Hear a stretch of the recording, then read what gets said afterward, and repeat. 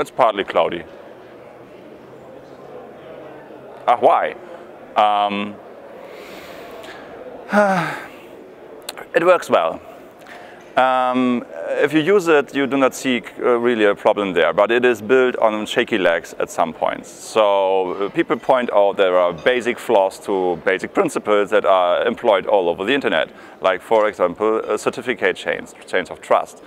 Uh, there are studies that uh, show that a significant amount of the certificates that uh, are the basis for trust are somehow lost.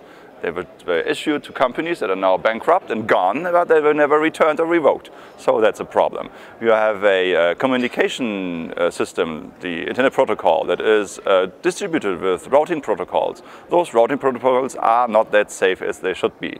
So people always think about, okay, it's not that hard to Uh, disconnect countries from the internet by just attacking these protocols. So only because it is not visible and it does not happen, it does not mean it is stable and secure. So I would say it's cloudy.